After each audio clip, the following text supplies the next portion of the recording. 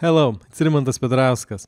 In this video I will demonstrate how to update the remote trade copier software. Here I have a list of steps we need to do.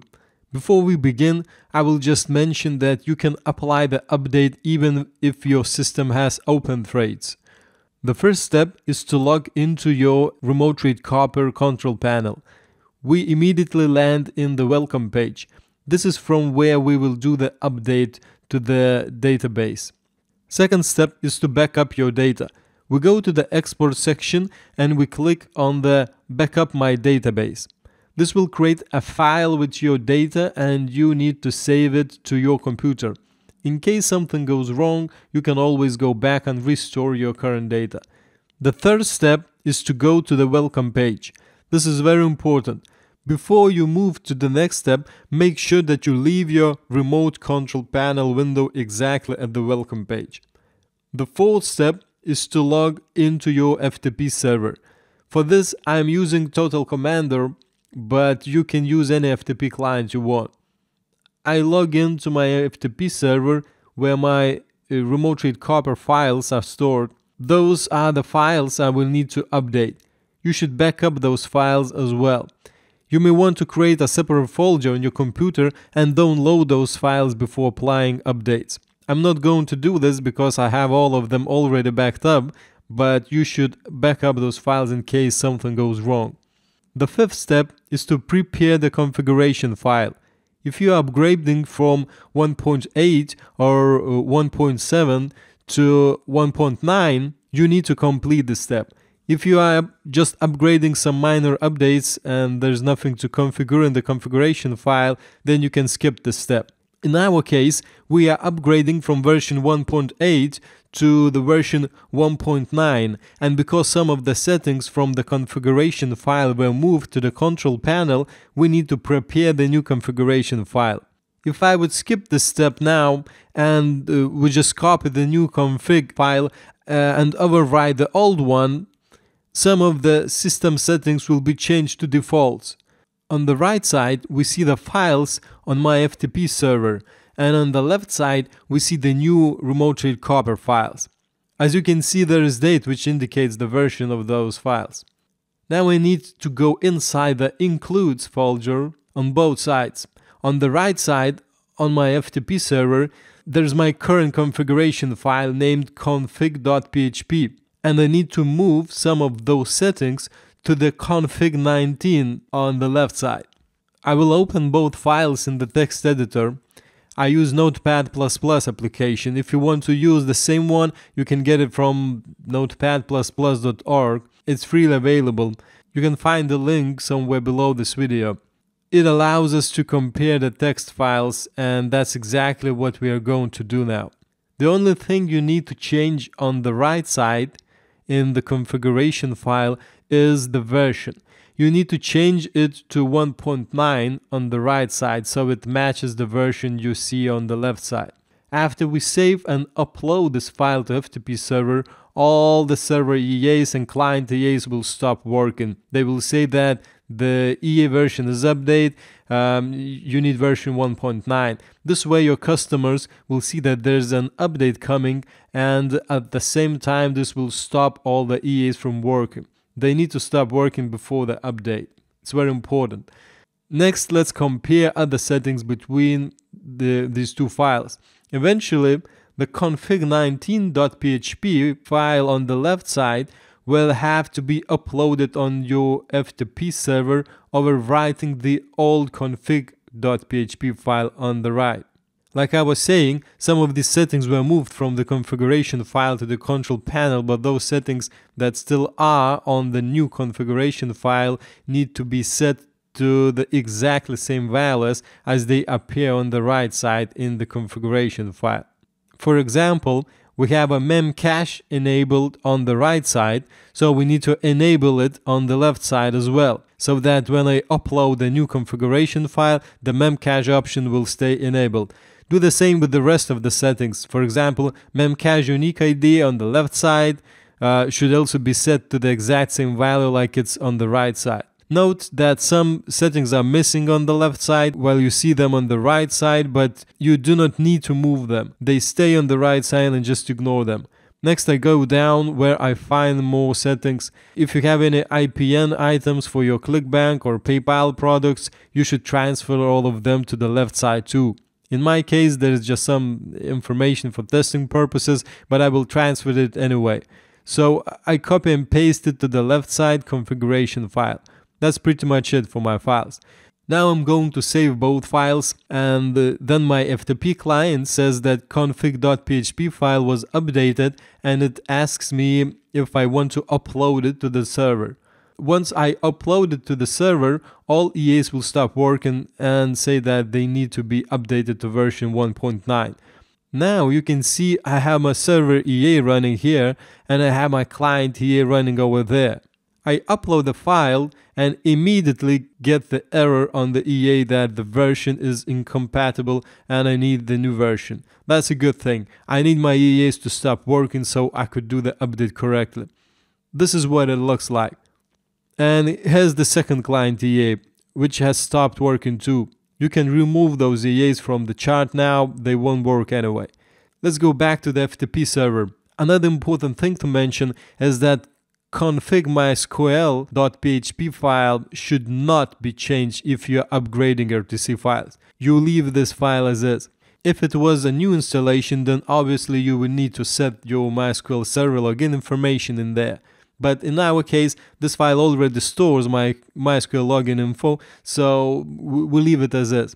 Next, we move to the sixth step, which is uploading new files to the FTP server. First, I need to upload all the files from the includes folder from the left side to the includes folder on the right side on the FTP server, except for the config mysql.php file. Let's upload and overwrite all the files with the new ones. Then I go up one level to the main RTC system folder on both sides. Now I need to upload and overwrite all of these files and folders except for the includes folder. In case you have customized version of those files on your FTP server, you will need to apply those changes by yourself because all these old files uh, will be overwritten with the new ones. I will pause the video now and upload those files and then get back to you in a minute. Okay, I'm back and all the files from the left side were uploaded to the FTP server on the right side. Now I have my files updated. Step 7 is to update the database which is performed from the welcome screen. Now I'll go to the welcome screen and refresh this page. It says that MySQL database needs to be updated. Here's the list of the updates that should be applied. Update will be applied in two parts. For first part, you need to click this Update MySQL Database button and then click OK to continue.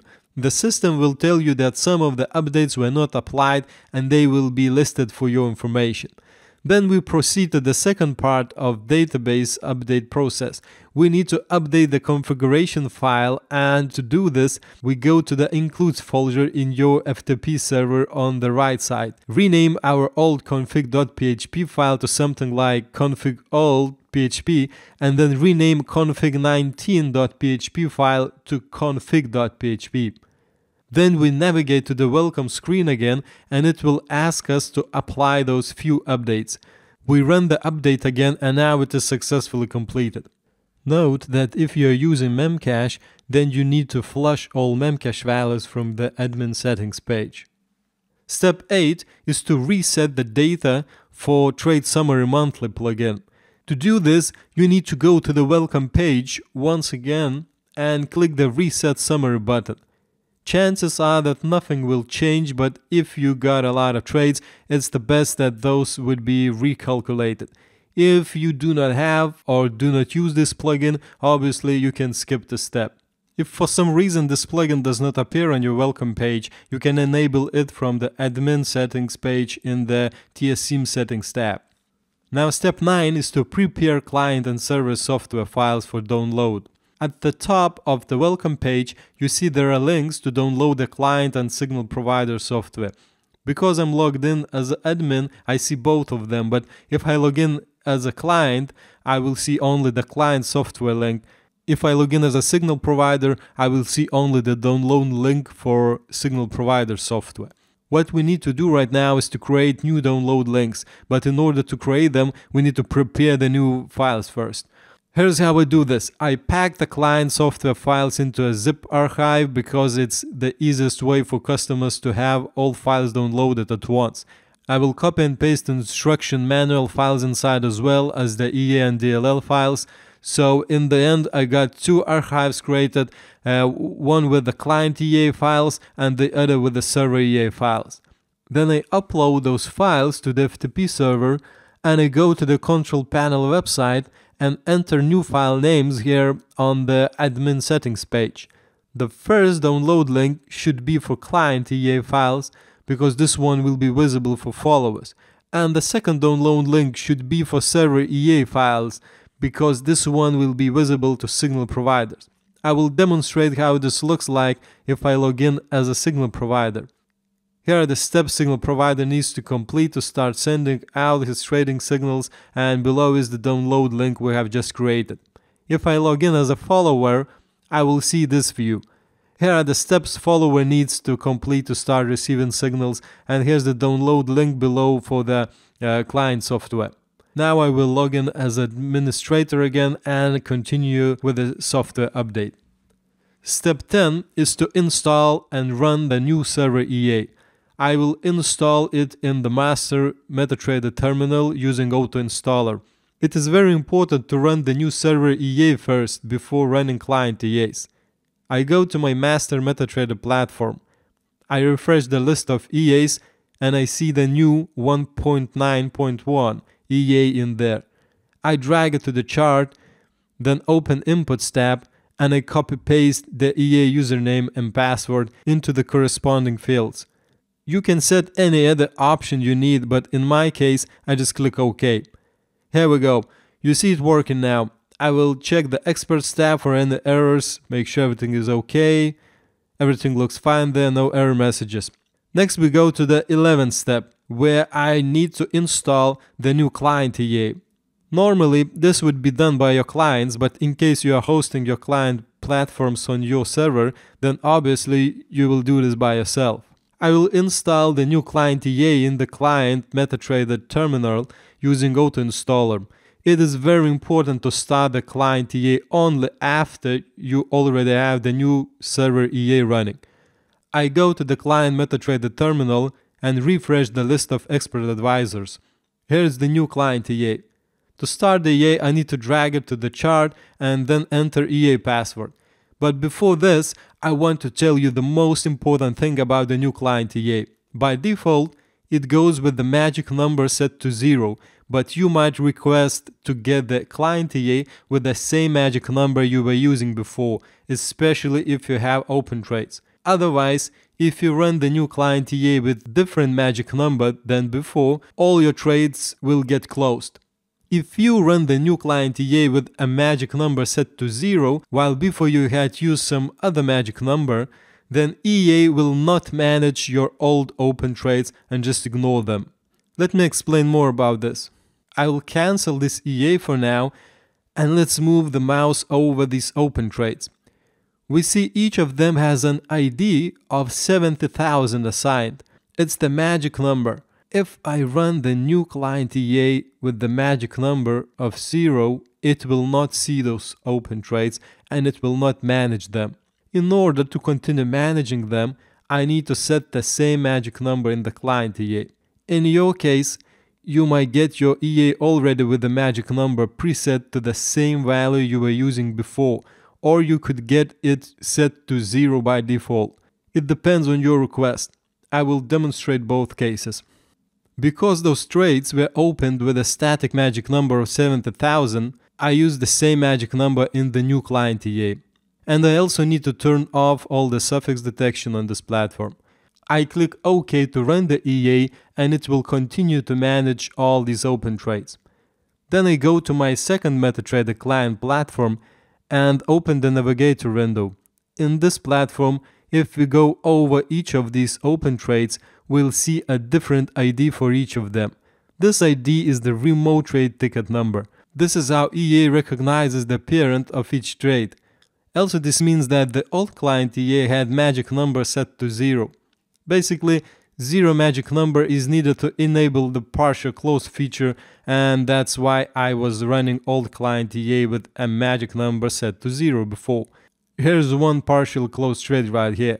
This means on this platform I'll have to use zero magic number for the new client EA. I set the EA password and obviously leave the magic number at zero. I click OK and the EA starts to work. Everything looks fine. Now let's do a little test let's go to the master terminal and I apply the take profit and the stop loss on the Aussie dollar trade. Now let's go to the first client terminal where we see the same stop loss and take profit applied. Now we go to another client terminal and see that the stop loss and take profit were applied as well. This means both client EAs continue to manage the trades previously opened by the old client EA. I will do the same for the CAD trade. I will apply the stop loss and the take profit. The client number 1 doesn't have the trade. It was closed previously because it doesn't support partial close, but the second client had the partial close feature enabled and this means that it should continue to manage the, the trade. Here we go. We have a new stop loss and take profit on this trade. Now let's close the CAD trade and both pending orders we see the first client close the pending orders and the second client close them as well, including the CAD trade.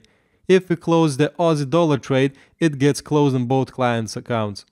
After you see that the client EAs and server EAs are working fine, you can go ahead and update all the rest of your client EAs. Notice your customers about this update and continue to use the new RTC. I hope you will enjoy all new features and I will see you in other videos. Bye.